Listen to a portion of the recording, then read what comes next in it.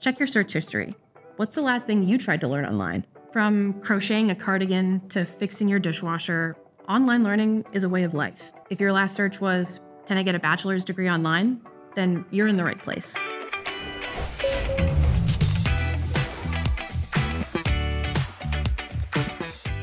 The short answer is yes, you can get a bachelor's degree online. An online bachelor's degree can be a good option if you have other obligations like work or family and need flexibility with your schedule. Some schools offer the same bachelor's degree online as they do on campus, with a variety of programs to match your interests and career goals. Typically, online bachelor's programs require the same amount of work as traditional on campus programs, and the courses are just as difficult. A bachelor's degree, whether online or in person, usually takes four years to complete, but that can change depending on the school and the program you choose and how many credits you transfer in.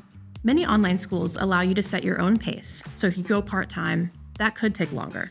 But in the end, you'll come away with a degree that meets the same educational standards as a traditional on campus program without putting your life on pause. Before choosing an online program, you should make sure to select a quality school and determine if the online format is right for you.